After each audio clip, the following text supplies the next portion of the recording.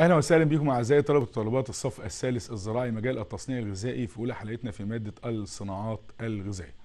طبعا كما تعودنا إن مادة أو مجال التصنيع الغذائي فيه أكتر من. من من مادة ففي ثلاثة مواد بندرسهم في الصف الثالث الزراعي مجال التصنيع الغذائي مادة الصناعات الغذائية، مادة حفظ وتصنيع اللحوم، مادة العجان والمخبوزات. النهارده إن شاء الله هنبدأ مع بعض أولى حلقاتنا في مادة الصناعات الغذائية. حابب قبل ما تدخل وتعرف الموضوع إيه فانت تبقى فاهم إن ده تكملة للصف الثاني اللي كان فيه أربع مواد من ضمنهم أيضا مادة للصناعات الغذائية ومادة للعجان والمخبوزات ومادة لتكنولوجيا الحبوب وأيضا مادة كانت للمستخلصات الغذائية والعطرية. لازم تبقى فاهم أنت مطلوب منك إيه في منهج الصناعات الغذائية.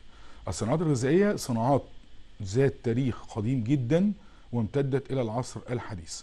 الصناعات الغذائية فيها مجمل من جملة من الصناعات اللي إحنا بنتناولها في المعامل عندنا أو موجودة في المنازل أو كمان موجودة في المصانع والأسواق وممكن تستفيد منها لأن إحنا بنقول إحنا دايما بنخرج فني ما بنخرجش طالب بنخرج فني ماهر قادر على استخدام المعارف اللي بياخدها وتطبيقها في صورة مهارات مع سلوك مفيد ليه في الناحية التصنيعية والمهنية وأيضا المجتمع. معانا أكتر من حاجة في مادة الصناعات فحابب نستعرض مع بعض الوحدات عشان نبقى عارفين تقريبا الوحدات اللي إحنا بنشتغل فيها إيه في مادة الصناعات الغذائية. معانا الوحدة الأولى تعالوا نشوف كده مع بعض الوحدة الأولى هي عبارة عن صناعة المربى والجيلي والمرملاد والفاكهة المحفوظة. دي كده محتوى أو ملخص الوحدة الأولى. أما الوحدة الثانية هي عبارة عن استخراج السكر من قصب السكر وبنجر السكر وأيضا صناعة العسل الأسود. معانا في الوحدة الثالثة اللي هي صناعة الطحينة والحلاوة الطحينية والقيمة الغذائية لكل منهم. ده كده مجمل الترم الأول أو الجزء الأولاني من الدراسة اللي هي الوحدات الثلاثه. مش عايز أشغلك بالوحدات الأخرى لكن طبعا ممكن تاخد فكرة عنهم عندنا وحدة صناعة التخمرات على راسها صناعة الكحول وصناعة الخل أي حمض الخليج. معانا وحدة صناعة زيت الزيتون معانا أيضا وحدة مهمة قوي هي عبارة عن صناعة العبوات الغذائيه وبالتالي ده مجمل كده تقريبا الست وحدات. ولكن لما نمسك النهارده الوحدة الأولى ونشتغل في الوحدة الأولى فأنا قلت لك إن دي عبارة عن صناعة إيه؟ صناعة المربى الجيلي المرملاد الفاكهة المحفوظة. خد بالك ما دام في وحدة يبقى في أهداف. الأهداف دي عبارة عن نواتج إحنا عايزينها من حضرتك في التعلم. وبالتالي إحنا عايزين مجمل من النواتج سواء المعرفية أو المهارية. تعالوا نشوف كده مع بعض جزء من الأهداف بتاعتنا سواء المعرفية أو المهارية أو النواتج التعلم اللي إحنا عايزينها تكون موجودة في خريج التعليم الفني مجال التصنيع الغذائي. أول حاجة إن أنت تبقى عارف المواد الخام المستخدمة في صناعة وإنتاج المربى. أيضا مهم قوي تبقى عارف مهارة إنتاج المربى طبقا للمواصفات القياسية. أيضا تكون عارف الخامات المستخدمة في صناعة إنتاج الجيلي والمرملاد المنتجات الأخرى الموجودة في الوحدة. يكون عندك أيضا مهارة إنتاج الجيلي والمرملات طبقا للمواصفات القياسية. من ضمن الأهداف إنك تكون قادر على حساب نسب المكونات اللي بتدخل في عملية التصنيع سواء المربى أو الجيلي أو المرملاد أو الفاكهة المحفوظة. أيضا يكون عندك مهارة الحكم على جودة كل من المنتجات السابقة سواء المربى أو الجيلي أو المرملاد أو أيضا الفاكهة المحفوظة طبقا ليه يا مستر طبقا للمواصفات القياسية والإشراطات الصحية. تعالوا مع بعض كده هنبدأ أولى حاجاتنا اللي هي الوحدة الأولى المربى والجيلي والمرملاد والفاكهة المحفوظة. أول حاجة هي عبارة عن المربى. عشان نبدأ الوحدة مع بعض لازم تكون عندك تعريف وافي لكل من المربى والجيلي والمرملاد والفاكهة المحفوظة. تعود من هنا وجاي إن كل تعريف تقريبا عندنا في مواد التصنيع الغذائي غالبا بيبقى بداخله خطوات إجرائية لتصنيع المنتجات اللي هنشتغل عليها. وما دام في منتجات هنشتغل عليها يبقى لازم كمان تكون ملم بالمواد الخام التي تدخل في عمليات التصنيع. تبقى عارف إيه مكونات المادة الخام اللي داخلة في التصنيع؟ إيه تأثيرها بالسلب أو الإيجاب؟ أيضا المواصفات المفروض توفرها في المواد الخام المستخدمة في التصنيع. تعالوا كده مع بعض هنستعرض أولى التعريفات بتاعتنا أو أولى المنتجات الموجودة في الوحدة الأولى وهي عبارة عن المربى. هو تعريف المربى إيه يا مستر؟ ركز لأن هتعرف الفوارق ما بين صناعة المربى وصناعة الجيلي والمرملات غالبا من التعريف. تعريف المربى بنقول هو ناتج خد بالك من الكلام ده هو ناتج طبخ ثمار وحط قوسين كبار أو هو ناتج طبخ ثمار وليه بحط قوسين لأن الثمار دي وارد تكون من الفاكهة وارد تكون من الخضار وارد تكون من الأزهار. يبقى أنا كده بطبخ ثمار. ثمار إيه؟ نباتية. عبارة عن إيه؟ يا إما فاكهة أو خضار أو أزهار. يبقى لما أجي أقول مثلا على سبيل المثال ناتج طبخ ثمار ده كده ثمار فاكهة. ده كده ثمار فاكهة. ده كده ثمار فاكهة. طبعا أنا بقول إن في كمان خضار. آه في خضار زي الجزر زي القرع العسلي. دي أنواع من أنواع الثمار. طب هو ناتج طبخ ثمار الحاجات اللي أنا بقولها دي يا مستر مع مين؟ آه مع كل من السكر والبكتين والحمض. أرجع بقى الثمار دي كده تاني مكانها لأن أنا بقول هي ناتج طبخ ثمار. مع مين؟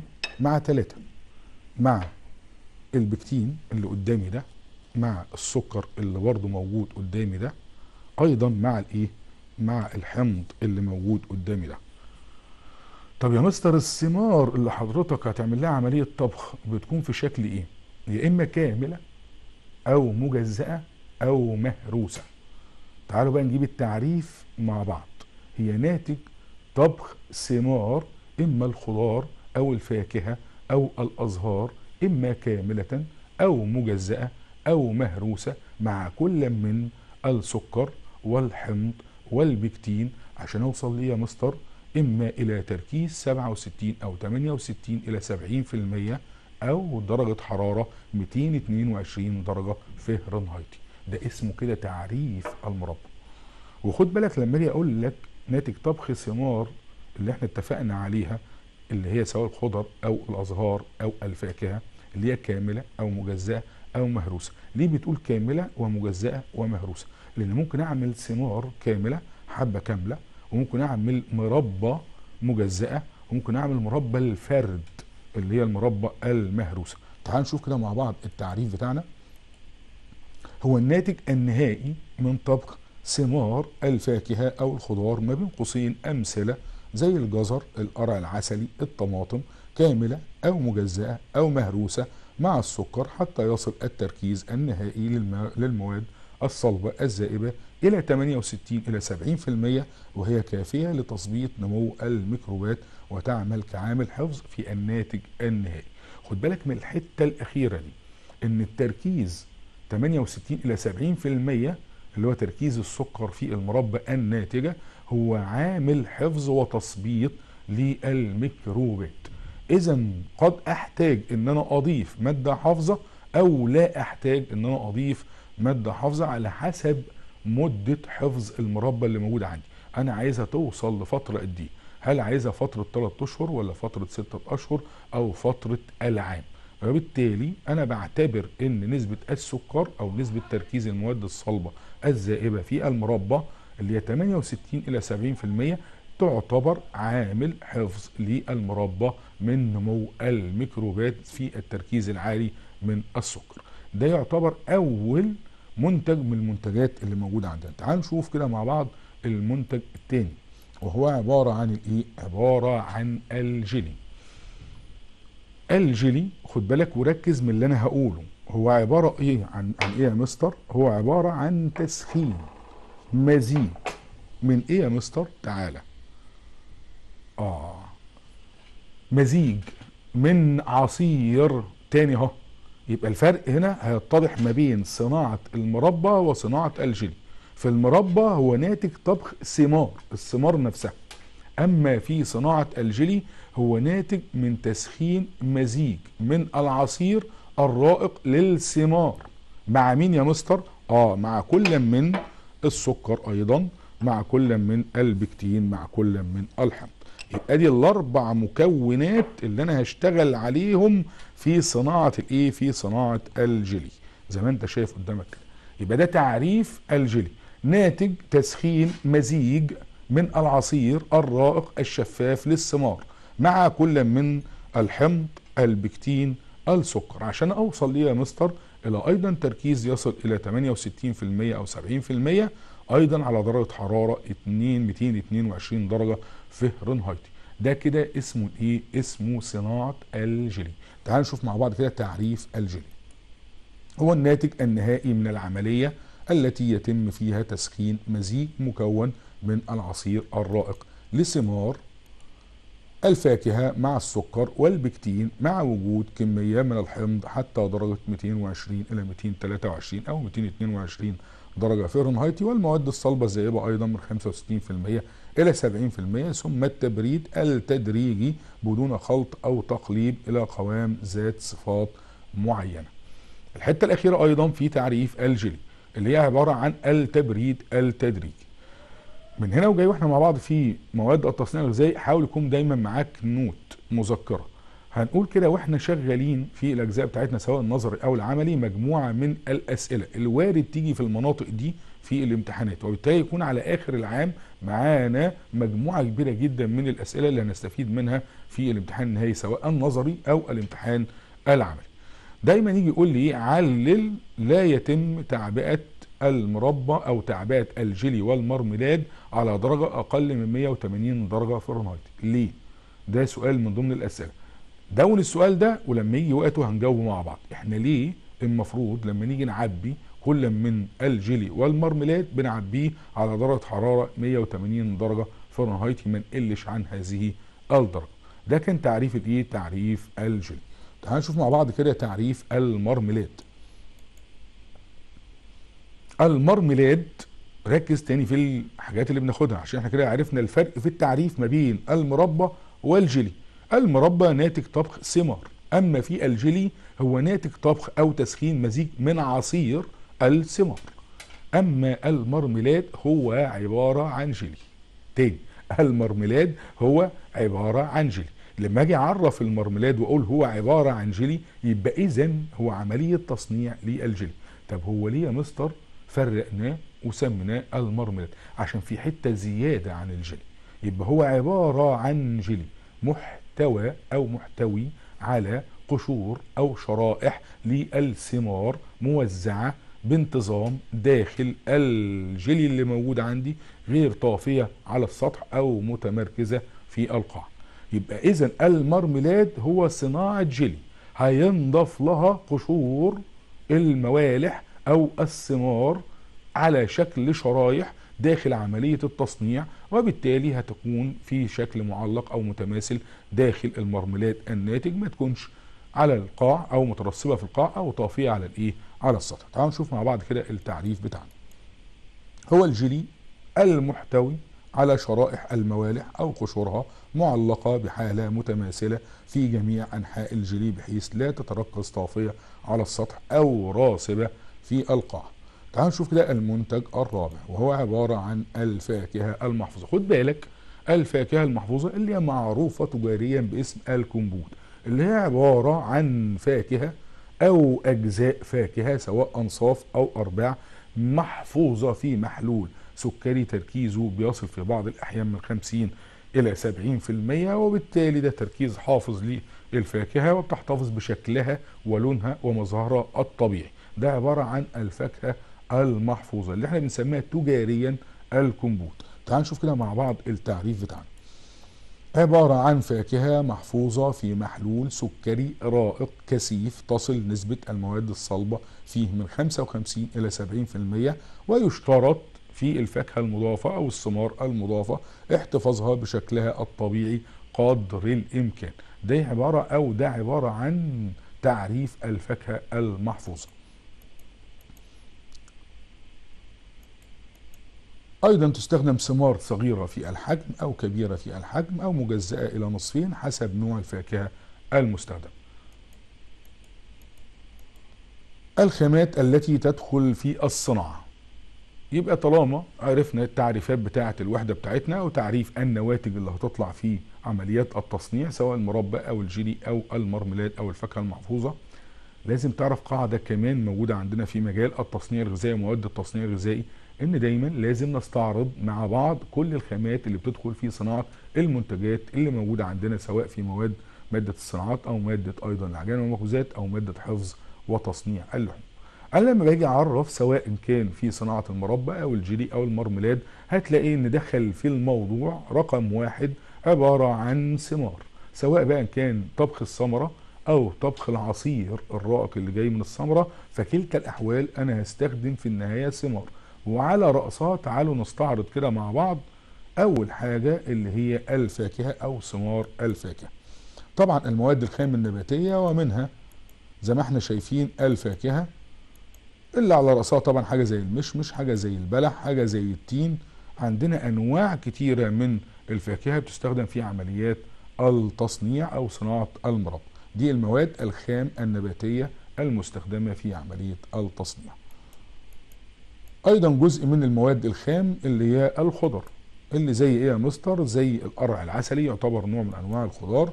أيضا الجزر نوع من أنواع الخضار. أيضا الفراولة نوع خلي بالك إن الفراولة نوع من أنواع الخضار وليست الفاكهه عشان يبقى أنت برضو مركز معايا الفراولة علميا بتندرج تحت الخضار أو تصنيفها تحت الخضار وبالتالي يبقى أنت عارف إن الفراولة نوع من أنواع الخضار. ده يعتبر الخضار المستخدم في صناعة المربى. هتقول لي طب الأزهار هو في أزهار يا مصر بنستخدمها في التصنيع؟ آه. عندنا بتلات الورد البلدي أو بتلات البرتقان زي ما إحنا شايفين. أيضا ممكن نصنع مربى من بتلات أزهار الورد البلدي أو أزهار البرتقال. دي كده يعتبر أول مادة خام مستخدمة في التصنيع. تاني مادة خام مستخدمة ونرجع مع بعض كده هنشوفها تاني ونستعرضها وهي السكر. تاني مادة خام مستخدمة في التصنيع هي السكر.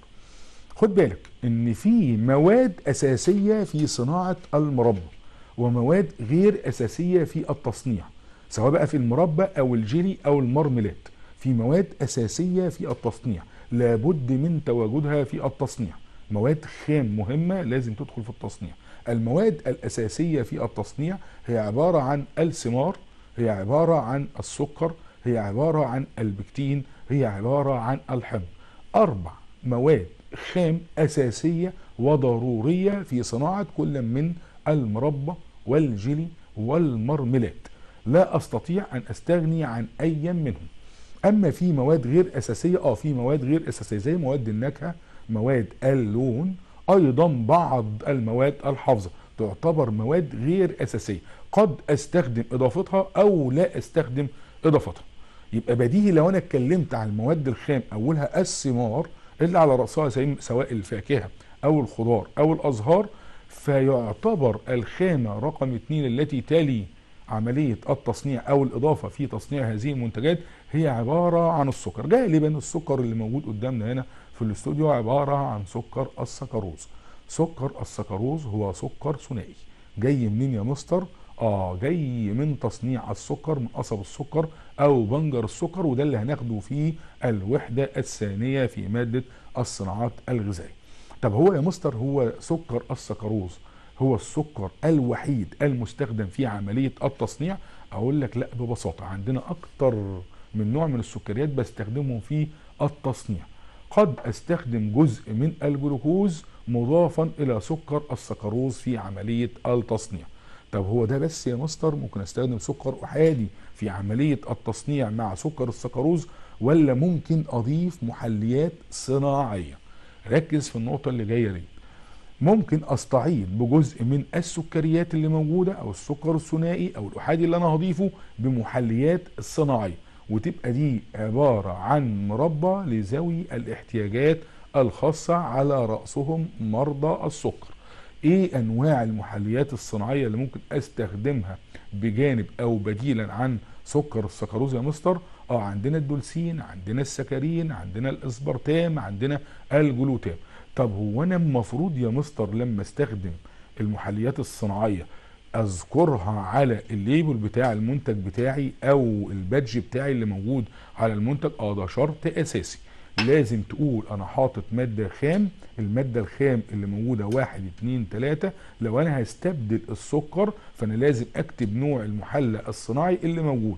طب يا مستر لو أنا أنتجتها بهذه الطريقة وما كتبتش ده على ال label بتاعي ده يعتبر نوع من أنواع الغش التجاري لو سيادتك ما حطيتهاش أو ذكرتها في ال badge الموجود على العبوة اللي موجودة عندي. طيب السكر اللي موجود يا مستر عندي له نسب إضافة؟ آه له نسب إضافة. زي ما كان الفاكهة ليها نسب إضافة آه ليها نسب إضافة. هنعرفها أثناء العملية التصنيعية. يبقى أنت ركز معايا أول المواد الخام الأساسية كانت عبارة عن الثمار.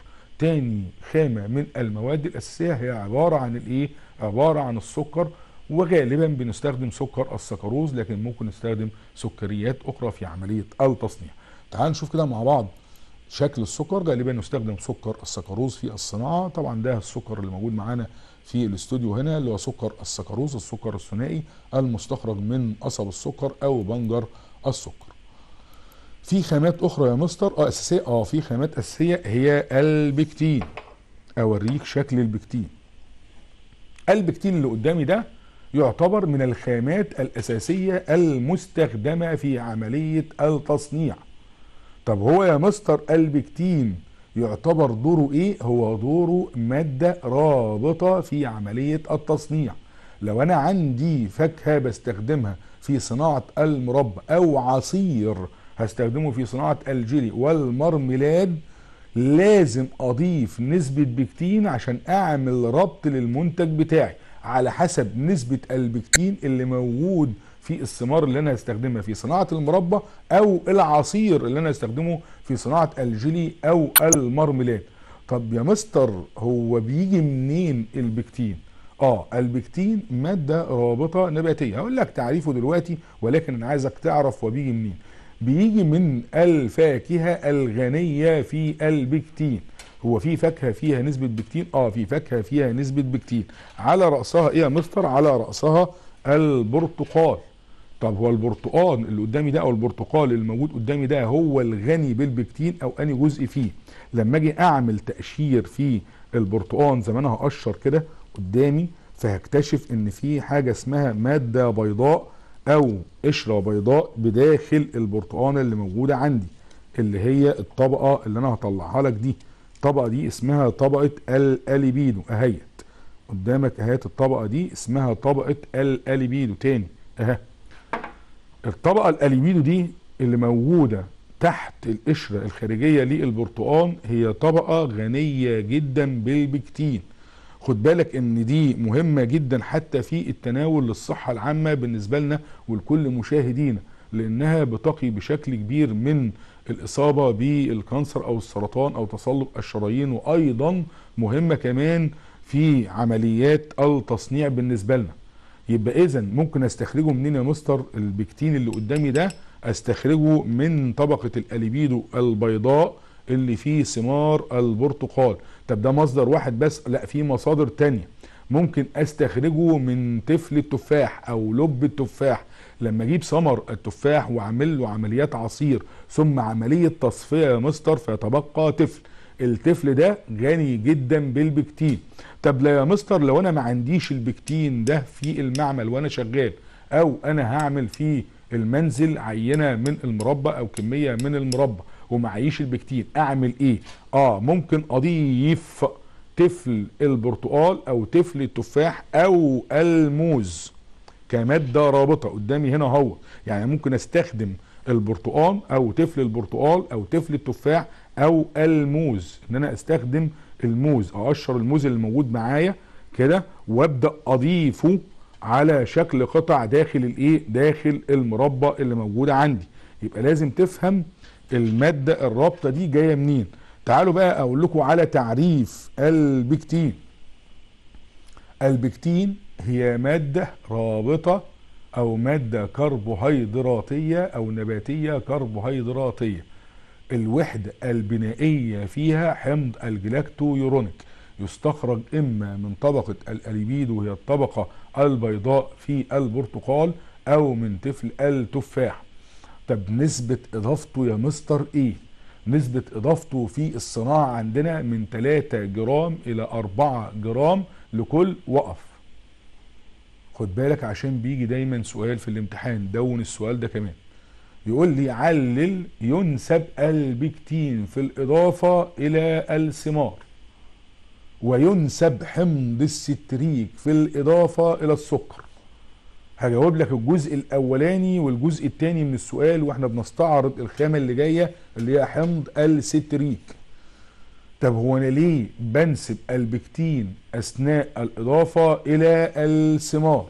لأن غالبا البكتين هو مادة رابطة نباتية مادة كربوهيدراتية معقدة التركيب حمض أو الوحدة البنائيه فيها حمض جلاكتورونيك فإذا أنا بستخدمه عشان أعمل ربط ليه المربى أو الناتج بتاعي من المربى أو الجيلي أو المرملاد طب إذا أنا لو مش موجود عندي كميات كبيرة منه داخل الثمار المستخدمة فأنا بستعيد عليها بهذا البكتين أو المادة الرابطه وبالتالي لما أجي أنسبه بنسبه للثمار المستخدمة لأن هي المحتوية على نسبة البكتين. فلو نسبته قليلة فأنا هزود نسبة البكتين المضافه لذلك بينسب إلى الثمار.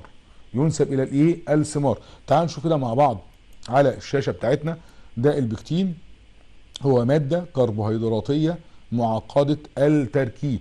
وحدة البناء فيها حمض الجلاكتورونيك مستخرج من لب أو تفل التفاح المتبقي بعد استخراج العصير وطبقه الألبيدو في ثمار البرتقال والموالح بصفة عامة. تعالوا نشوف مع بعض الحامض. نرجع بقى البكتين مكانه وندخل مكانه الحمض. اللي قدامي ده عبارة عن إيه؟ عبارة عن حمض ستريك تاني اللي قدامي ده على الشاشة ده عبارة عن إيه؟ عبارة عن حمض ستريك حمض الستريك خلي بالك قريب قوي في شكله من السكر. تاني أنا جبت لك الاتنين جنب بعض. ده حمض الستريك وده السكر. ولكن دايما هتلاقي حمض الستريك أكثر بياضا وبياض ناصع عن السكر.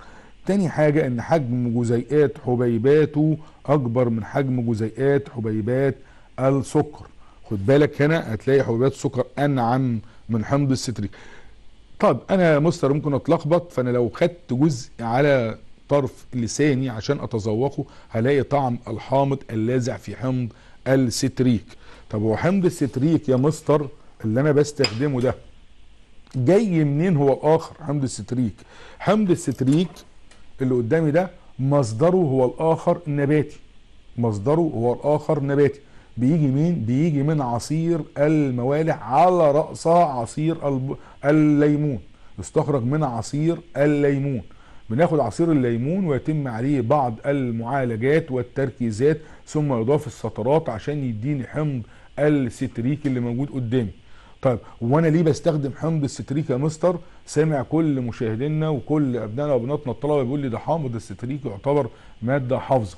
خد بالك. آه هو ماده حافظة ولكن ليس الهدف الأساسي في تصنيع المربى والجيلي والمرملاد هو الحفظ. طب هو الهدف إيه؟ آه جاوب بقى الشق الثاني من السؤال. مش أنا قلت لك علل عند إضافة كل من البكتين إلى الثمار والحامض ينسب إلى السكر. يعني لما أجي أضيف الحامض اللي قدامي أنسبه لمين؟ للسكر. آه ده حامض هنسب إضافته إلى السكر. طب قد إيه يا مستر؟ 3 جرام إلى 4 جرام لكل كيلو جرام من السكر.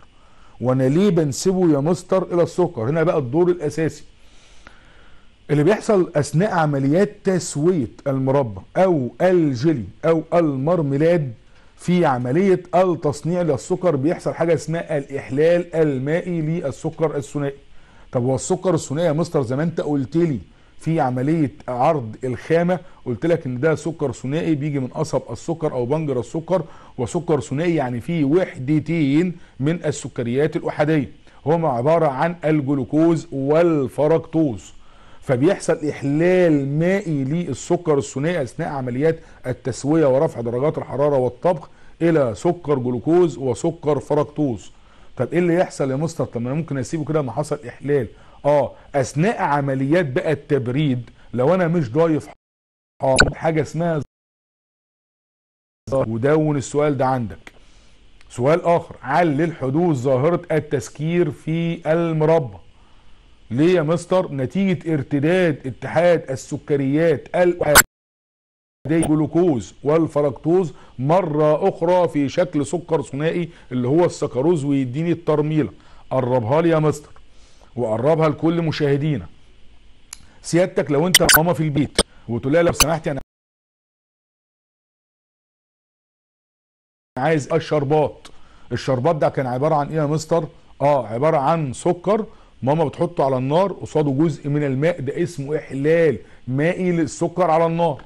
فبيكون النتيجة إيه بعد فترة من عمليات الطبخ أو الإنضاج للشربات على النار أو السيرم ده إنه بينفرد السكر الثنائي إلى سكر أحادي جلوكوز وفركتوز ويحصل تغلظ في القوام نتيجة تبخر جزء من الماء. ماما بتعمل حركة كده صغيرة في البيت هي مش عارفة غالبا هي بتعملها لأن مش فنية لكن بتعملها عشان تقول لك السكر أو الشربات ما يرملش. بتعمل إيه؟ بتجيب ليمونة وبتقطعها إلى نصين وبتعمل عصرة من الليمونة قبل نهاية عملية الإيه؟ عملية النضج للسكر اللي موجود على النار. هي بتقول ده ليه؟ بتقول لك علشان ما يسكرش ما يرملش. أنت بقى كولد أو طالب فني موجود لازم تفهم إن اللي انضاف ده عبارة عن حمض الستريك دوره الأساسي إيه بقى؟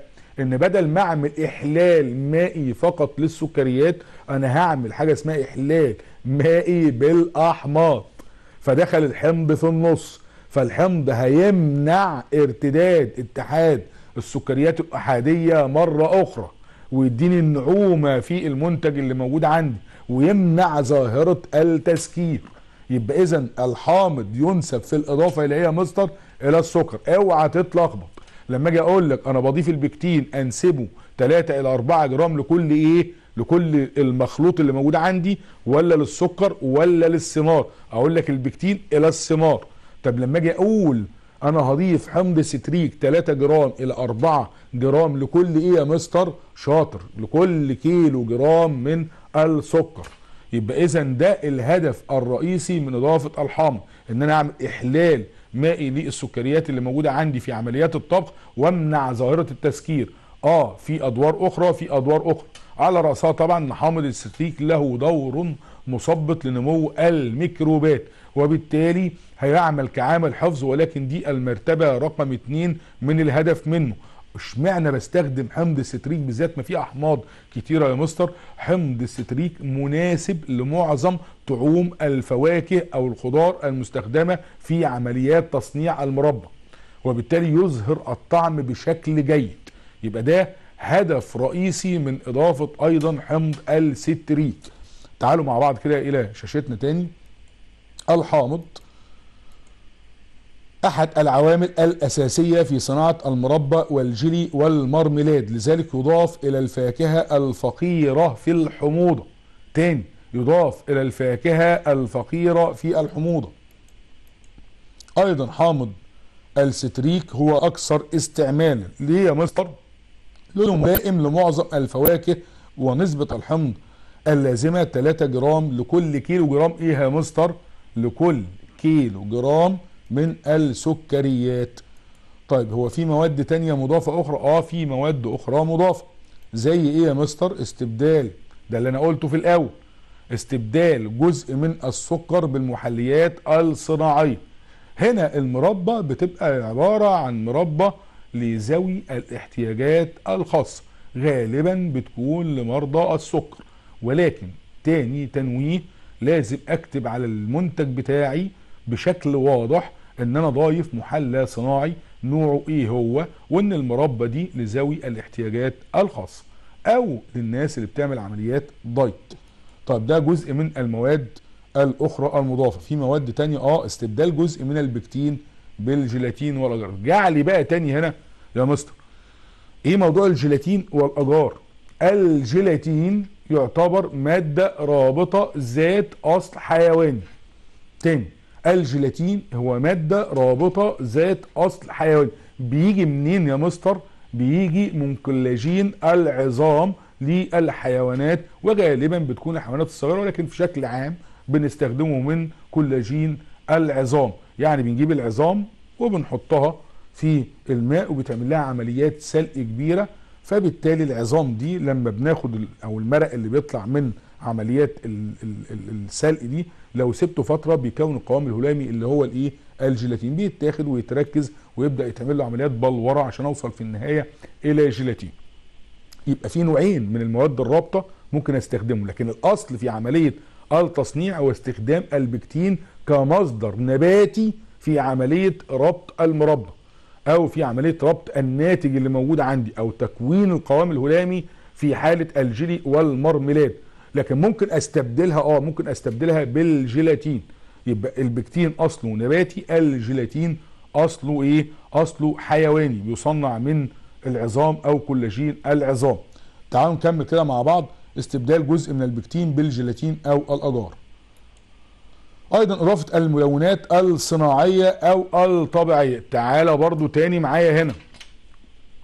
ارجع تاني أنا قلت لك في مكونات أساسية في صناعة المربى والجيلي والمرميلاد أربع مكونات. إيه هم يا مستر؟ فكرني بيهم. عبارة عن الثمار عبارة عن السكر عبارة عن الحامض عبارة عن البكتين. دول أربع مكونات أساسية. في مكونات غير أساسية؟ آه أنا قلت لك إن ممكن أضيف حاجة اسمها الملونات الصناعية أو الطبيعية أو أيضا الطعوم. بس خد بالك هنا في نقطة مهمة قوي لو أنا بضيف ملونات صناعية أو أنا بضيف نكهات صناعية لازم تكون بالنسب المحددة من وزارة الصحة وأيضا هيئة التوحيد القياسي المصرية. يعني تكون بالنسب المصرح بيها. لأن غالبا الملونات الصناعية أو النكهات الصناعية هي عبارة عن مواد كيميائية أو مواد كيماوية فبالتالي بستخدمها على حسب هيئة التوحيد القياسي وتكون كمان مطابقة للاشتراطات الصحية واخدة ترخيص من وزارة الصحة. تعالوا نرجع كده مع بعض. أيضا استبدال أو إضافة نسبة بسيطة جدا من المواد الحافظة مثل بنزوات الصوديوم وعند إضافة المواد الحافظة خد بالك إن بعض المصانع قد لا تضيف المواد الحافظة ومعظم المصانع بيضيف المواد الحافظة الكيميائية. طب هو بيضيف لي المواد الحافظة الكيميائية يا مستر؟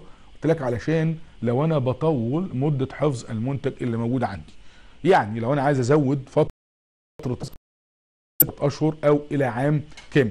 ولو إن أرجع تاني وأذكرك وأنا قلت لك إن تركيز 68 إلى 70% هو تركيز حافظ للمربى والجيلي والمرميلاد علاوة إن أنت ضايف داخل هذا المنتج حمض الستريك اللي له دور حافظ. كمان في نقطة حابب أنوه ليها وإحنا في معاملنا كل معاملنا على مستوى الجمهورية فيها تصنيع المربات.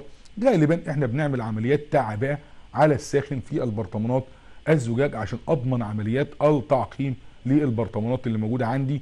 وأيضا عندي شمع البرافين ذات الأصل النباتي اللي بنعمل له عمليات تسييح وبنضيفه على سطح المربى وبالتالي بيعمل عزل للهواء وبقفل الغطا بتاعي بعد ما يكون عملية الإيه؟ التعبئة وصلت إلى درجة التبريد الملائمة. ده يعتبر بالشكل المبسط المواد الأخرى المضافة. تعالوا كده نكمل مع بعض. عفوا. خطوات صناعة المربى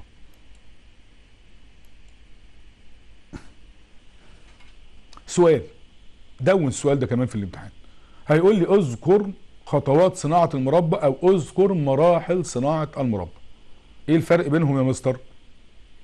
أما يجي يقول لي اذكر مراحل صناعة المربى أعرف إن هم ثلاث مراحل. مرحلة الإعداد والتجهيز مرحلة الطبخ مرحلة التعبئة. طب لما يجي يقول لي اذكر خطوات صناعة المربى. خطوات صناعة المربى هي أكثر تفصيلا. كل مرحلة من الثلاث مراحل دول تحتها خطوات إجرائية. فلو بقول مرحلة التع... ال... ال... ال... الإعداد والتهيئة والتجهيز تحتها خطوات. من ضمنها على سبيل المثال في عمليات غسيل في عمليات فرز في عمليات تقشير في عمليات سلق. دي اسمها خطوات. لما يجي يقول لي مرحلة الطبخ فأنا أبقى عارف إن أنا هعمل إيه؟ إن أنا هبدأ عمليات التسوية هبدأ أحط الإضافات بتاعتي الأساسية. إمتى هضيف الحامض؟ إمتى هضيف البكتين؟ إمتى هوصل لعملية الإيه؟ لعملية نهاية النضج أو التسوية. مرحلة التعبئة يبقى أنا عارف هعبي على درجات حرارة كام أو هعمل عمليات تعقيم إمتى أو هقلب البرطمانات بتاعتي لو أنا عايز أعمل عمليات تعقيم للأغطية. دي اسمها مراحل تصنيع المربى تحت خطوات إجرائية. يبقى أنت كده واخد بالك من السؤال بتاعي. لما أجي أقول لك أذكر مراحل تصنيع المربى هتقول لي الثلاث مراحل. لو أنا بقول لك أذكر خطوات تصنيع المربى هتذكر بالتفصيل الخطوات الإجرائية اللي موجودة في الثلاث مراحل في صناعة المربى تعالوا كده نشوف مع بعض أول مرحلة هي مرحلة الإعداد والتجهيز اللي بتشمل هذه المرحلة عدة عمليات ومنها الغسيل الفرز التقشير التقطيع إزالة البذور السلق. تتم هذه العمليات على حسب طبيعة الماده الخام النباتية المستخدمة. وده بقى الجزء اللي إحنا بنتكلم برضه فيه هنشوفه بش- بشكل عملي قدامنا. لما أجي أقول مرحلة إعداد وتجهيز ارجع بقى ده كده تاني عشان أنا لما أجي اعمل اعداد وتجهيز. وأنا اعمل اعداد وتجهيز للسكر يا مستر ولا الطبيعي أنا بعمل اعداد وتجهيز للثمار المستخدمة في عملية الايه؟ في عملية التصنيع.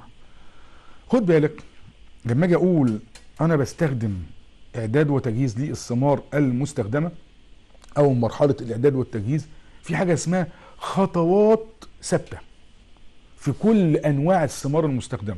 سواء هستخدم ثمار فاكهة هستخدم ثمار خضر هستخدم الأزهار اللي هي بتلات الورد البلدي. في مراحل أو خطوات جوه المرحلة دي ثابتة. على سبيل المثال ما أنا عملية انتخاب الصنف المناسب. ثابتة على كل الثمار اللي أنا هستخدمها. عملية الغسيل ثابتة على كل الثمار اللي أنا هستخدمها. خد بالك من اللي عملية الفرز والتدريج ثابتة على كل الثمار اللي أنا بستخدمها. دي اسمها خطوات ثابتة ايا كان نوع الثمار المستخدم. مش أنا بقول في ثمار فاكهة في ثمار خضر في أزهار. فلما أجي أقول مرحلة إعداد وتجهيز تحتها خطوات في خطوات ثابتة على كل أنواع الثمار. منها انتخاب الصنف المناسب منها عمليات الغسيل منها عمليات الفرز والتدريج عمليات استبعاد التالف والمهشم من الثمار المستخدمة أو المصاب بالبكتيريا والفطريات بستبعده تماما. دي اسمها خطوات ثابتة. طب أديك مثال لخطوة من الخطوات الثابتة وهي انتخاب الصنف الملازم أو الملائم أو الملائم أو المناسب يا مستر عندي دي ثمار تين برشومي لو أنا حابب أصنع منها مربى. فلما أجي أقول انتخاب الصنف المناسب فأنا بقول إن أنا بختار الثمار التامة النضج. وابعد عن الثمار الزائدة في النضج أو الثمار الغير تامه النضج. يعني على سبيل المثال لما أقول الثمرة فيها جزء من الخضار أو الثمرة كلها خضراء فدي بتبقى ثمرة غير تامه النضج. هتعمل لي غالبا مشاكل أثناء عملية التصنيع على رأسها اللي هي مادة البكتين بتكون في صورة معقدة اسمها بروتو بكتين لا يتم الاستفادة منها. طب لما أجي أقول أنا عايز ثمرة تامة النضج يا مستر فانا هشوف ثمرة تامة النضج زي الثمرة دي فهتلاقي الثمرة تامة النضج من جميع الجوانب في اللون ومتماسكة أيضا في الإيه؟ في القوام. وأنا ليه بستخدم ثمرة تامة النضج يا مستر؟ لأن البكتين موجود على شكل البكتين الذي يمكن الاستفادة منه أثناء عملية التصنيع. فأنا بقول إن أنا بستبعد الثمار أو مش يعني عشان برضو كل أبنائنا وبناتنا مش بيتم استبعادها بشكل نهائي ولكن لا يفضل ان أنا استخدم ثمار زائدة في النضج. ليه يا مستر؟ لأن الثمار الزائدة في النضج غالبا البكتين بيكون على شكل حمض بكتيك لا يمكن الاستفادة منه. طب لو أنا هستخدمها يا مستر يبقى أنا أعمل حسابي إن أنا هضيف جزء من البكتين عشان أعوض النقص في البكتين اللي موجود في هذه الثمار. يبقى ده خطوة إجرائية اسمها انتخاب الصنف المناسب. خلي بالك انتخاب الصنف المناسب مش بس في الصنف نفسه ممكن يبقى في النوع داخل الصنف. يعني إيه في النوع داخل الصنف؟ على سبيل المثال لو أنا بصنع جيلي فأنا هستخدم العصير الرائق مثلا لثمار زي ثمار البرتقال. فانا لما أجي انتخب ممكن انتخب داخل ثمار البرتقال نفسها أقول لك آه لأن أنا عندي أنواع كتيرة من ثمار البرتقال منها البرتقال اللي هو بصره والبرتقال البلدي أيضا البرتقال السكري. أفضل أنواع البرتقال المستخدم هو البرتقال البلدي نظرا لارتفاع محتواه من النكهة الطبيعية وبالتالي هيديني الطعم المناسب للمنتج اللي موجود عندي. يعني ممكن أختار داخل الصنف نفسه أنتخب داخل الصنف نفسه. طب وأنا بقول لك ليه كده؟ عشان تعرف الخطوات الإجرائية اللي موجودة تحت مرحلة الإعداد والتجهيز. دي كلها خطوات ثابتة على كل الثمار. طب هو إيه الخطوات المتغيرة على بعض الثمار على حسب طبيعتها؟ على سبيل المثال لما أجي أعمل حاجة اسمها عمليات سلق آه دي خطوات تجرى على بعض أنواع الثمار ولا تجرى على الثمار الأخرى. زي اديني أمثلة يا مستر عشان لو سمحت أقرب الموضوع ليا. آه لو أنا بعمل مثلا مربى جزر فالجزر ذات قوام صلب وبالتالي لازم أعمل له عمليات سلق قبل ما أعمل عمليات طبخ عشان أمهد للأنسجة إنها تتشبع بالسكر دي اسمها خطوة إجرائية في مرحلة الإعداد والتجهيز اسمها السلق تجرى على ثمار ولا تجرى على ثمار أخرى. أيضا في خطوات زي خطوات التقشير فأنا ممكن أعمل خطوة زي خطوة التقشير في ثمار ولا تجرى على ثمار أخرى. على سبيل المثال أيضا لو أنا حابب أقشر مثلا الجزر اللي موجود عندي وما استخدموش بالشكل المباشر ده أو لو أنا عندي كمثرى وأعمل لها أيضا سقف ممكن أعمل عملية تقشير للقشرة اللي موجودة بره. دي عمليات تجرى على ثمار ولا تجرى على ثمار أخرى. أيضا في بعض الثمار يتم نزع النوى من داخلها وبالتالي تجرى على ثمار مثل ثمار البلح مثل ثمار المشمش. دي اسمها خطوات إعداد وتجهيز بتجرى على حسب نوع الثمار والصنف المستخدم. يبقى أنا في مرحلة الإعداد والتجهيز عندي ثمار أو عندي خطوات ثابتة على كل الثمار اللي هي عبارة عن إيه يا مستر؟ انتخاب الصنف اللي هي عبارة عن الغسيل اللي هي عبارة عن الفرز والتدريج استبعاد التلف والموشم دي خطوات ثابتة على كل الثمار. يبقى الخطوات الإجرائية الأخرى اللي بتتم على ثمار وثمار لأ على حسب نوع المنتج. تعالوا نشوف معايا مثلا ثمرة زي ثمرة التين اللي موجودة عندي. فأنا عايز أعمل مثلا على سبيل المثال عملية إعداد وتجهيز فأنا لازم أقطع الجزء اللي أنت شايفه بالأعلى ده اللي هي الزوايد اللي أنا بسميه الأنبع بتاع التين. فده لازم أشيله كده زي ما أنت شايف واستبعده. عمليه استبعاد. تعالى شوف الثمرة الأخرى على سبيل المثال. فأنت فأنت هتشوف الثمرة اللي موجودة قدامك دي فيها الأنبع اللي أنت شايفه قدامك ده. فده مش هيدخل في عمليات التسوية. يبقى صعب جدا عمليات الإنضاج والتسوية. طب أعمل إيه يا مستر؟ بسيبه زي ما هو كده؟ لا بعمل له عملية استبعاد أهو زي ما أنت شايف. بقطع الجزء ده بالسكين هنا اهو على طرف السكينة زي ما انت شايف. اهو باخد الجزء ده واستبعده. دي إحدى خطوات الايه؟ خطوات الإعداد والتجهيز. إن أنا بقطع الزوايد في الثمرة اللي موجودة عندي اللي مش هيتم ليها عملية إنضاج وتسوية على سبيل المثال. زي ما انت شفت لما أنا خدت الجزء اللي هو بتاع زاد أو اللي إحنا بنسميه الانبع للثمره فأنا عملت له عملية إيه؟ عملية إزالة. يبقى اذا دي خطوة من خطوات الإعداد والتجهيز داخل عمليات الإيه؟ عمليات الإعداد والتجهيز أو مرحلة الإعداد والتجهيز. أنا بديك على سبيل المثال في صناعة مربى التين البرشوم. أنا انتخبت الصنف المناسب خلاص. اخترت اللي موجود عندي خلاص فأنا هبدأ أعمل عمليات غسيل فالثمار دي تعمل لها عمليات غسيل عشان أزيل الأتربة والشوائب العالقة. الثمار دي تم استبعاد التالف تم استبعاد المهشم الثمره سليمة بالشكل اللي أنت بتشوفه سليم فأبدأ أعمل عملية تجهيز ليها إن أنا أشيل الأنبع بتاعي واجهزها لعمليات الإيه؟ لعمليات الطبخ أو المراحل الأخرى في عملية التصنيع أعتقد إن بالجزء ده نكون وصلنا إلى نهاية حلقة النهارده. أتمنى يكون كل أبنائنا وبناتنا الطلبة ومشاهدينا استمتعوا معانا. وإلى لقاء آخر كان معكم الأستاذ نبيل عبد الرؤوف موجه الصناعات الغذائية. أرجوكم ابقوا معنا.